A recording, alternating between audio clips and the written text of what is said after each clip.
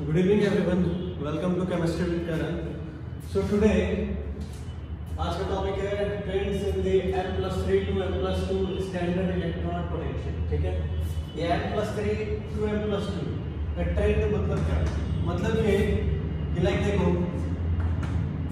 Like इससे पहले क्या पढ़े थे? इससे पहले m, इससे पहले तो पढ़े थे m plus 2 to m, ठीक है?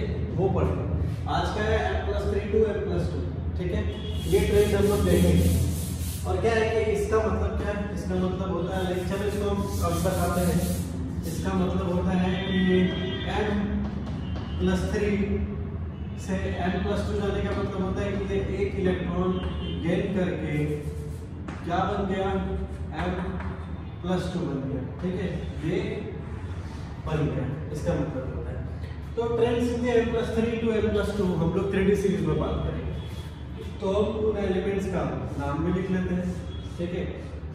जो थ्री सीरीज़ में है, कौन कौन है वो एलिमेंट स्कैंडियम फिर टाइटेनियम फिर vanadium chromium manganese iron cobalt nickel copper and last one zinc so now अगर इनका वैल्यूज़ देखेंगे लाइक इनका ई नॉट वैल्यूज़ है एसआरपी स्टैंडर्ड रिडक्शन पोटेंशियल या स्टैंडर्ड इलेक्ट्रॉन पोटेंशियल ठीक है आईपैक ने बोला है कि एसआरपी लेते हैं सारा बात कर चुके हैं तो इसका अगर देखेंगे तो इसका एनसीईआरटी में वैल्यू नहीं मैंने ठीक है एनसीईआरटी अगर आप लोग देखेंगे तो पेज नंबर मैं बता दूँ पेज नंबर कितना है ये एक मिनट पेज नंबर एक्चुअली नहीं दो सौ बीस पेज नंबर 220 में देखेंगे तो स्कैंडियम का वैल्यू नहीं गिवन है टाइटेनियम का वैल्यू गिवन है minus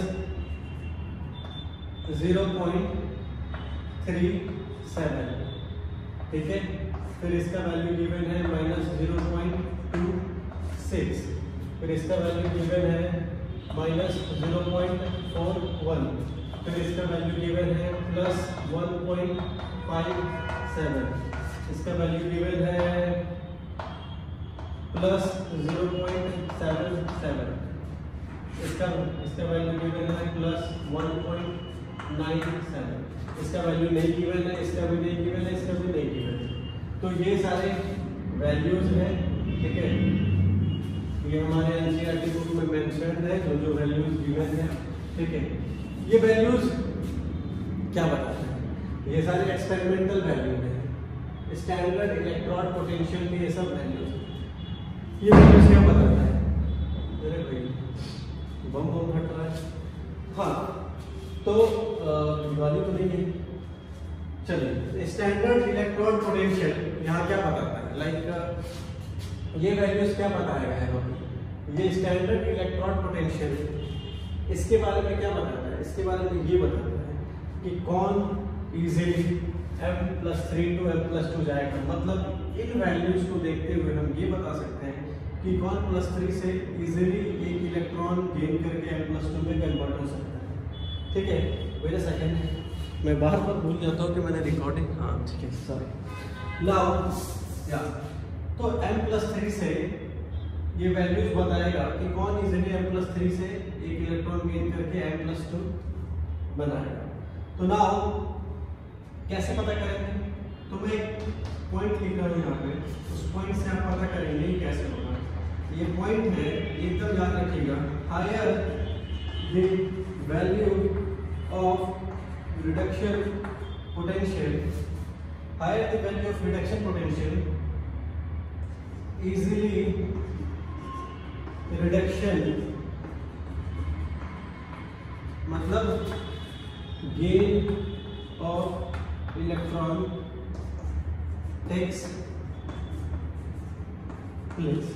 Higher the value of reduction potential, easily reduction takes place. मतलब जितना ज़्यादा वैल्यू ज़्यादा होगा उतना आसानी से इलेक्ट्रॉन गेन करेगा मतलब sir higher the value of reduction potential ये सारा रिडक्शन पोटेंशियल है तो सर यहाँ इलेक्ट्रॉन पोटेंशियल ये इलेक्ट्रॉन पोटेंशियल ही रिडक्शन पोटेंशियल है लाइक आईयूपैक ने मेंशन करके रखा लाइक इलेक्ट्रोकेमिस्ट्री पेपर में तो ये इलेक्ट्रॉन पोटेंशियल ही रिडक्शन पोटेंशियल तो ना हो इस पर ज़्यादा बात नहीं करेंगे। ना तो ये जो रिडक्शन पोटेंशियल्स है, अगर higher the value of reduction potential easily reduction takes place तो हायर वैल्यू किसका है? सबसे ज़्यादा वैल्यू किसका है? पहले इस पे बात कर लेते हैं। लोग यहाँ भी कंफ्यूज होते हैं। किसका हायर है? ये है सबसे हायर और सबसे लोअर ये है। ठीक है? क्लियर है?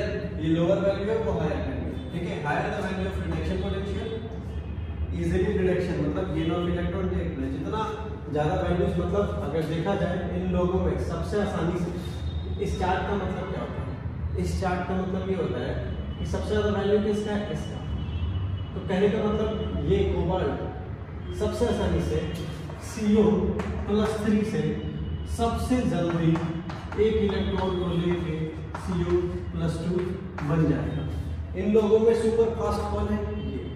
क्योंकि इसका वैल्यू सबसे ज़्यादा है। और इलेक्ट्रॉन पोटेंशियल रिडक्शन पोटेंशियल का वैल्यू ये है। रिडक्शन पोटेंशियल मतलब रिडक्शन पोटेंशियल मतलब गेन करने का पोटेंशियल तो गेन करने का रिडक्शन मतलब gain of electron reduction potential मतलब गेन ऑफ़ इलेक्ट्रॉन करने का पावर पोटेंशियल इसका ज़्यादा है, इसका ज़्यादा होगा। इजीली गेन ऑफ़ इलेक्ट्रॉन करेगा तो इसका सबसे ज़्यादा है। तो इजीली इलेक्ट्रॉन गेन करता है। तो ना अब सबका हम ट्रेंड देखते हैं। लाइक ट्रेंड देखना ज़रूरी है। तो हम आते हैं सीधा ट्रेंड पे। तो समझ गए ये बात? अब आता है ट्रेंड स्टार्ट करते हैं। लाइक फ़र्स्ट वन स्कैंडियम ठीक है? स्कैंडियम ठीक है? थोड़ा सा मैं छोटा छोटा लिखता हूँ, ठीक है? क्योंकि कंपैरिजन भी करना है इसलिए मैं यहाँ पे मेरा राइटिंग बड़ा है। ठीक है, थोड़ा बड़ा बड़ा लिखता हूँ मैं। स्कैंडियम प्लस थ्री है। प्लस थ्री से ट्रेंड दिखाना है प्लस थ्री से प्लस टू कैसे जाएगा? तो प्लस थ्री से प्लस टू कैसे जाता है? तो बताया प्लस टू से प्लस टू इलेक्ट्रॉन लेके ही जाता है सब कोई। एक इलेक्ट्रॉन लेके ही प्लस टू बनता है। ठीक है तो now scandium plus three scandium plus two अगर देखा जाए प्लस थ्री इसका इलेक्ट्रॉनिक कन्फिग्रेशन क्या है? Four S zero three D zero plus three इसके पास कितना होता है? ट्वेंटी वन होता है लाइक देख लो कंफ्यूज हो जाता है। Four S two three D one होता है इसके पास। तीन इलेक्ट्रॉन निकालना है। दो यहाँ से निकलेगा, एक यहाँ से निकलेगा। तो four S zero three D zero हो गया।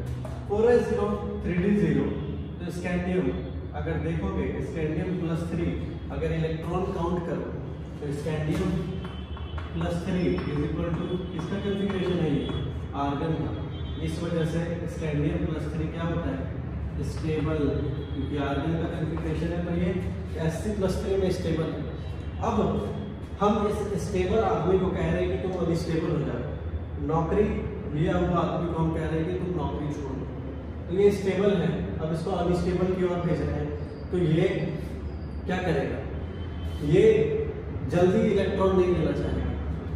क्या बोला मैंने? Higher the value higher the value easily gains the electron higher the value easily gets the electron so कितना याद रखो? Higher the value easily gets the electron higher value इसका easily gain the electron अब यहाँ पे इसका value NCERT ने नहीं दिया है लेकिन अगर कोई रीजन पूछे, ठीक है तो क्या होगा?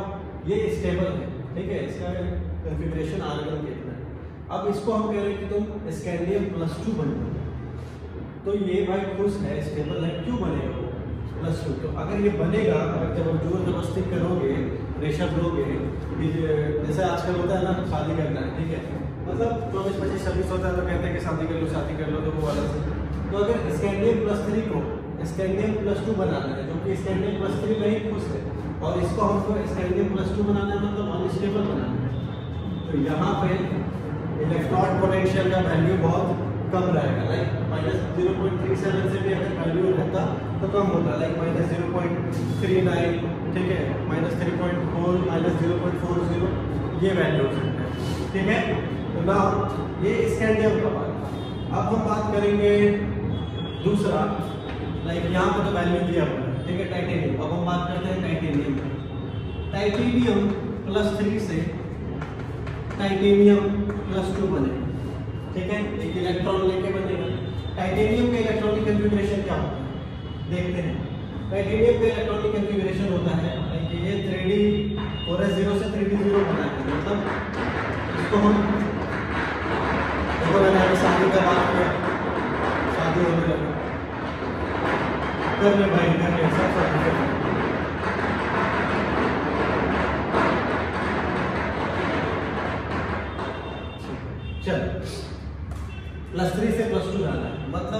इसका इलेक्ट्रॉनिक कंफिग्रेशन क्या होगा? फोर एस ज़ीरो और थ्री डी इसका हो जाएगा वन ठीक है? लाइक हम ना इस चीज़ को, इस ट्रेंड को, इस वैल्यू और इलेक्ट्रॉनिक कंफिग्रेशन के वैल्यू से हम लोग आंसर करेंगे। लाइक कभी भी क्वेश्चन पूछा जाएगा तो हम लोग इस वैल्यू से और इस इलेक्ट्रॉनिक कंफिग्रेशन से रिलेट करेंगे। लाइक हमारे पास ये एक्सपेरिमेंटल वैल्यूज़ है।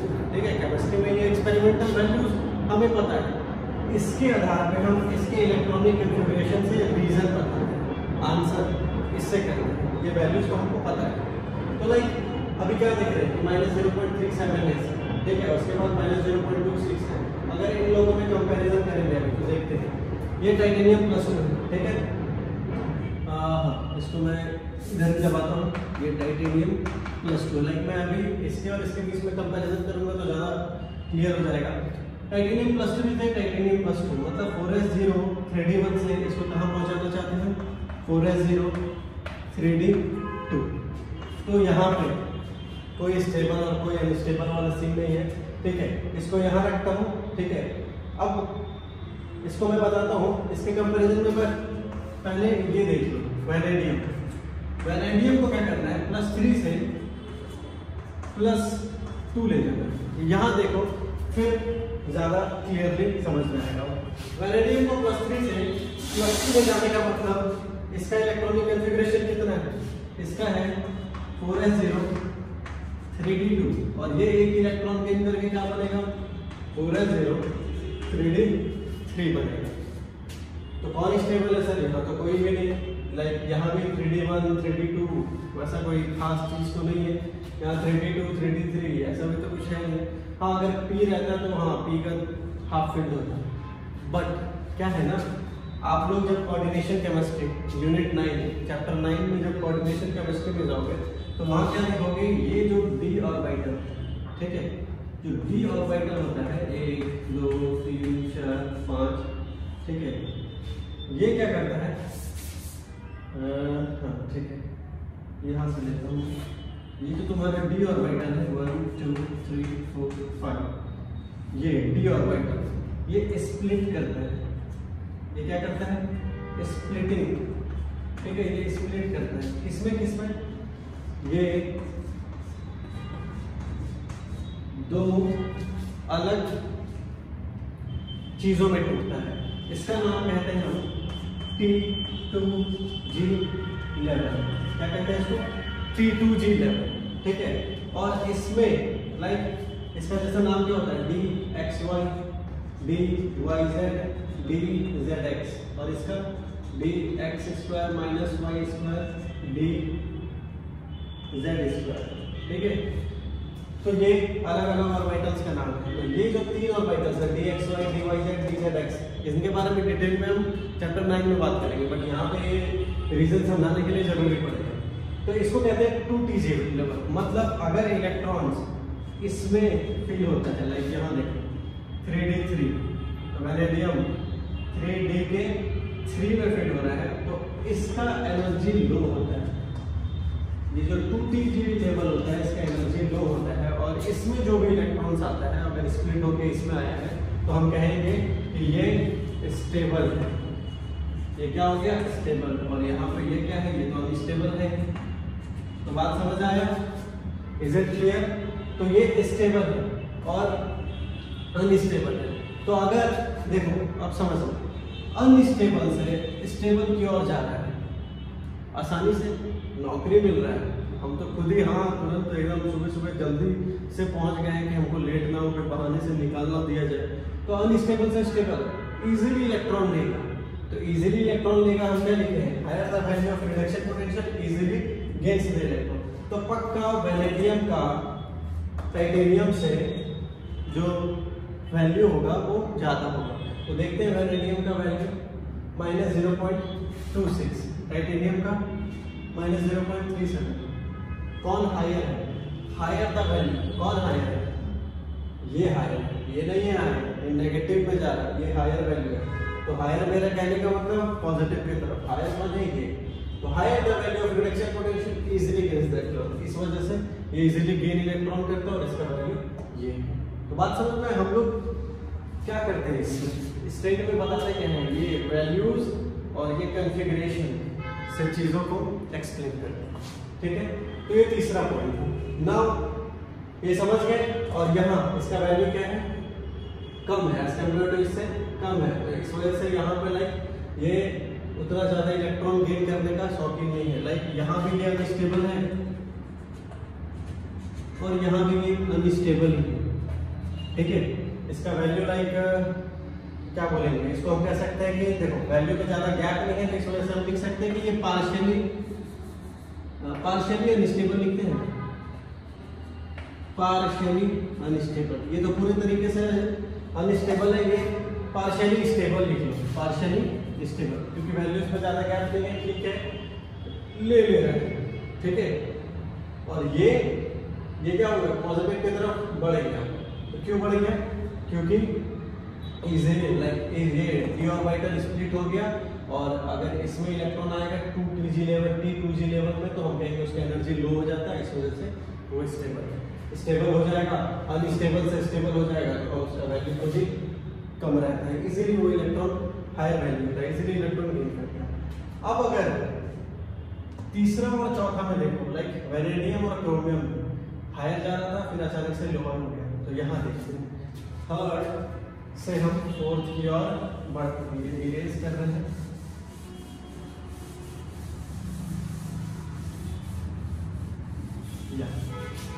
फोर्थ कौन सा है हमारा? फोर्थ है हमारा क्रोमियम प्लस थ्री से क्रोमियम प्लस टू बचेगा। इसका इलेक्ट्रॉनिक कंफिग्रेशन क्या होगा? क्रोमियम प्लस थ्री का। इसका होगा four S zero three D three ठीक है? और इसको हम बनाना चाहते हैं four S zero three D अब देखो वहाँ, हम क्या बोल हैं जहाँ भी थ्री डी थ्री रहेगा, वो स्टेबल रहता है। क्यों? इस वजह से आंसर लिखेंगे टी टू जी लेवल की वजह से। टी टू जी लेवल में जो रहता है उसका एनर्जी लो रहता है, इस वजह से ये स्टेबल है। अब इसको स्टेबल से हम अनस्टेबल की ओर भेज रहे हैं। तो ये तो सही बात नहीं है। तो अगर ये स्टेबल से अनस्टेबल की ओर जाएगा तो इलेक्ट्रॉन लेना नहीं चाहेगा, इतने में खुश है। तो अगर ज़बरदस्ती इलेक्ट्रॉन लेगा तो उसका वैल्यू क्या होगा? लोअर जाएगा। ठीक है? क्या वैल्यू होगा? गिर जाएगा। ये देख रहे हो माइनस फोर पॉइंट फिर नेगेटिव में चला गया।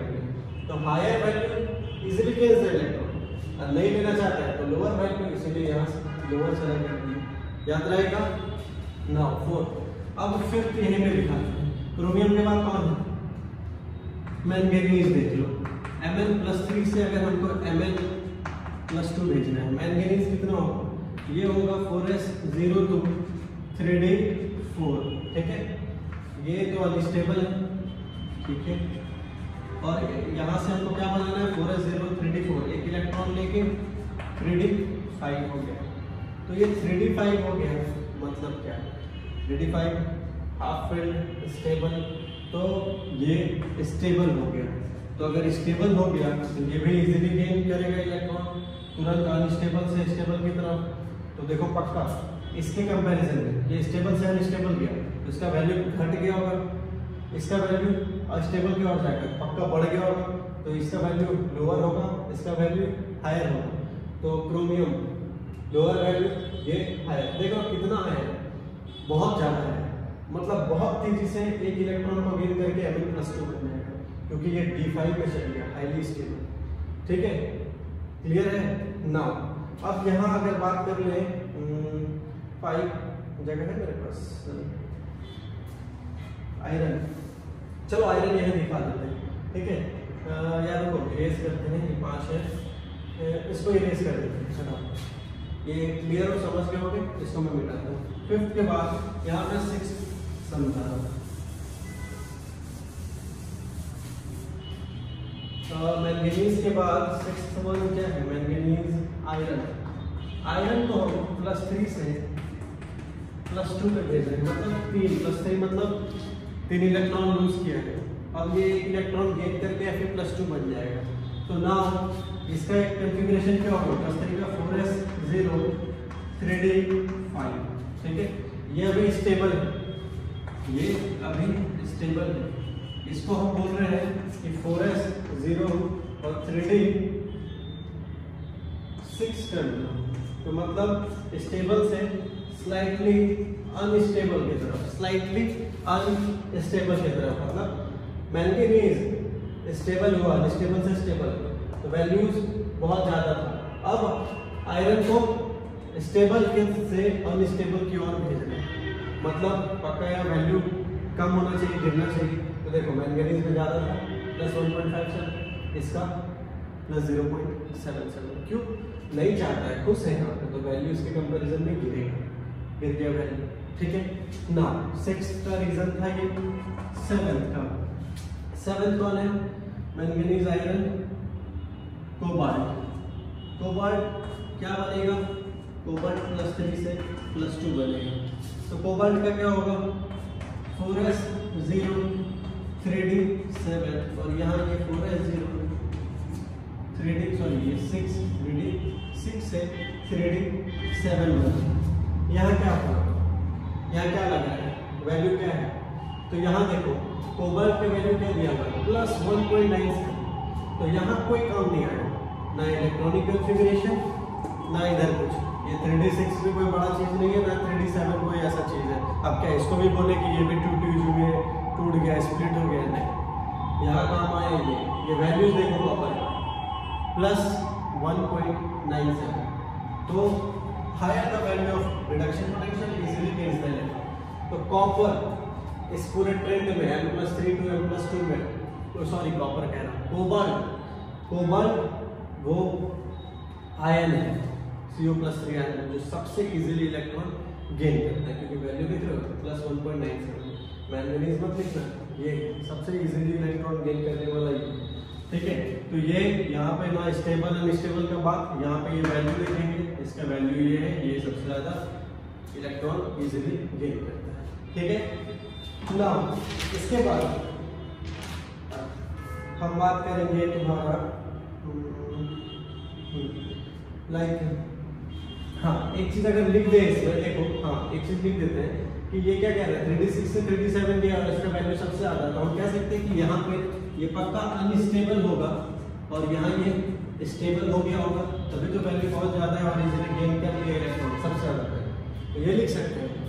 ठीक है, ये अनस्टेबल ये स्टेबल वैल्यू ये है any problem no problem okay now अब हम बात करेंगे निकल और कॉपर और जिंक का। तो मैं किस पे यूज़ करता हूँ निकल हाँ इस पे यूज़ कर देता हूँ।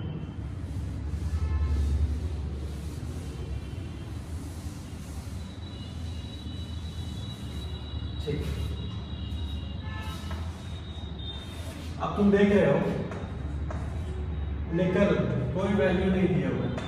प्लस थ्री कोई निकल प्लस टू तो इसमें ज़्यादा क्वेश्चन भी नहीं पूछेंगे। एनसीईआरटी में वैल्यू नहीं दी गई तो अगर तुम इसके इलेक्ट्रॉनिक कॉन्फ़िगरेशन देख भी लो, छुआ इलेक्ट्रॉनिक कॉन्फ़िगरेशन देख भी लो तो इसका क्या आएगा? Four S zero three D seven और इसका four S zero three D eight ये भी कुछ खास नहीं है, ऐसा कोई स्टेबल अनस्टेबल कोई कन्फिग्रेशन नहीं है।